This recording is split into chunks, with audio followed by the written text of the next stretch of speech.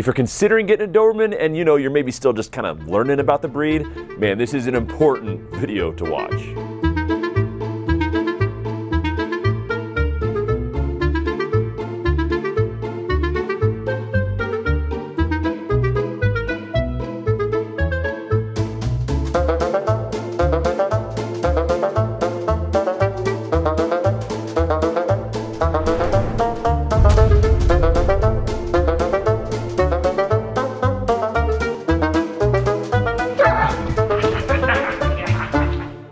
Okay, the first behavioral issue in Dobermans, this is hands down the most obvious one that you're gonna notice right away when you start owning one of these dogs.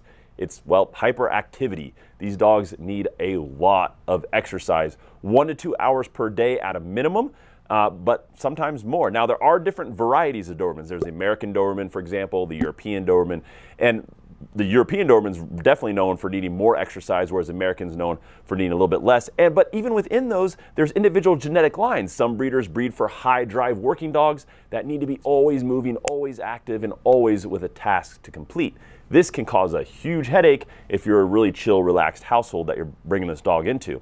Whereas other dogs are definitely more relaxed. So in general, though, for a Doberman, if you bring them into an active household where you're out there doing adventures all the time, outdoor things where you can bring your dog, maybe there's lots of kids stopping by, maybe there's another dog in the house. If it's a very active household, generally, um, Dobermans tend to thrive really well in that type of environment because they need all that activity. A quick pro tip for you try to exercise their mind as well as their body. If you exercise their mind with things like puzzle toys, games, tasks they can accomplish and frequent command training, you're really going to help relax the Doberman and give them a task that they feel like they have to accomplish. That will help a ton. Every bit, if not even more, than exercising their body. So engage their mind, and you're going to have a lot easier time with this overactivity thing. The next uh, kind of negative behavior you're very likely to see in a Doberman is stealing things. They love to steal things. Now they can steal your socks, your shirt, a kid's toy, whatever. They're incredibly intelligent dogs, and they'll put that mind to bad if you're not giving them enough good outlets for that mind power, for all that intelligence. And the thing is, they're smart enough to know that they're doing wrong, so they'll do things like steal your socks and make a beeline straight for the dog door and try and hide it on their way out so they can get out into the backyard where you're not around and they can play with it uninterrupted. So watch for them stealing things because that's a really common one with the Doberman. Now, if you're experiencing this right now and this is happening to you, try giving your Doberman more unique toys to play with. Puzzle toys and toys of different textures and types uh, and different interactive toys. I'm willing to bet your Doberman's probably a little bit bored with what you have right now on hand and they're turning to this as an outlet. Now another very common behavioral problem in Dobermans is leash reactivity. This is a problem with these dogs because they are protection dogs by instinct. That's what they were made for in the beginning.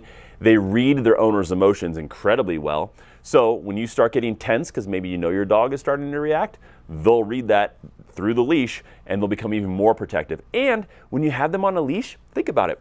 A dog, when they get a little bit frightened, what's their instinct? Same as you and me, right? Fight or flight. That's the instinct that you get. Well, when they're on a leash and they're held nice and close to your body, flight isn't an option.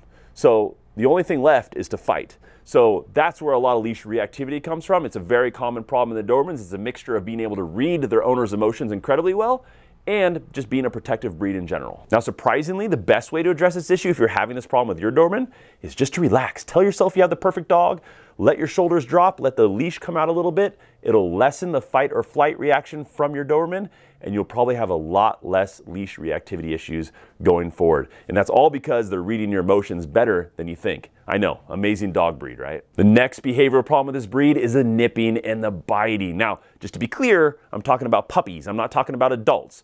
Doberman adults don't have biting problems in general. This is not an aggressive breed. They're not out biting for no reason. If you don't believe me, just spend some time looking at it on YouTube. I've done plenty of videos myself debunking this myth about the aggressive Doberman. But as puppies, from about 12 weeks of age to six months of age, when they're, until they're done with teething or about there, um, tends to be a real bad nipping and biting stage. That's the case with a lot of breeds, but with Dobermans, it's exceptionally bad. These dogs have a lot of energy, a lot of drive, and a lot of prey drive, so that nipping and biting stage that most puppies go through tends to be kind of exaggerated with this breed. So you got to interrupt it with rock solid consistency to make sure it doesn't become a habit. Otherwise, you will have an adult Doberman that has a biting issue. This nipping and biting stage being so rough with this breed is one reason that first year with a Doberman puppy is the most difficult year that you'll have owning a Doberman. The next real common issue in Dobermans, general anxiety. They do suffer from this. Now, this can be separation anxiety, just general neediness, or other types of anxiety, but really this can be the root cause of a lot of these problems I've already mentioned on this video, and it can lead to other really bad behaviors such as barking, uh, crying and howling, digging up your yard, destructive chewing in your house, and a whole lot of other really bad things. And why are Dobermans so prone to this? Well, really because they're Velcro dogs by nature, which means they just love to be stuck to your side. And they're really focused on their owners. They want lots of human interaction. So they're very prone to separation anxiety, as an example. Um, they have a high uh, exercise requirement, and if they're not getting that, their anxiety will also go through the roof. They also are big habit forming dogs. So if they're used to being around you all the time, like from you work from home people, and then you decide to leave for a good chunk of the day, there's a good chance they're gonna have anxiety and stress as a result. It's a double-edged sword. It's great that they're in tune with their owner's emotions. It makes training so easy. It makes their protective instincts just right on point. But it's also a downside because you have potential for anxiety in kind of a mismanaged relationship with your Doberman. Okay, what are a couple things you don't need to worry about with the Doberman breed? Well, first is them not being trainable. These dogs are incredibly trainable. They're one of the world's most trainable dog breeds, and they're the fifth most intelligent breed in the world. You can double check me on that. Take a look at some of the studies that are out there that show this.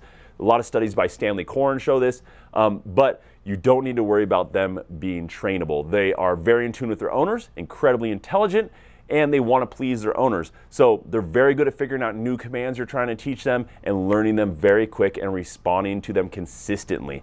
Another thing you don't need to worry about as much with the Doberman is them escaping or running off. These just really aren't escape artists like many other dog breeds are. And when they do escape, a lot of owners will come home and find them sitting on the front porch, for example. Now, still be safe, still keep your dog contained and be responsible, but what I'm saying is they don't have that huge desire to roam that a lot of breeds do. An unneutered male Doberman might roam a bit more, but still, a lot of owners find their dogs just waiting on their front porch if they've gotten out of their yard. Now, luckily, these issues are all very solvable for a trainable dog like the Doberman. All you gotta do is train them in a method, in a manner that really clicks with their natural instincts. Luckily, on this channel, we have a ton of videos to help you do just that with very specific techniques that are just made exactly for this breed. Now, they may not always work on a poodle or a chihuahua or a Labrador, but these techniques are great for a Doberman. This isn't just any old dog breed, so don't train them like any old dog. So definitely hit that subscribe button down below, guys, before you go anywhere, and the little bell icon next to it to make sure you don't miss any of our future videos.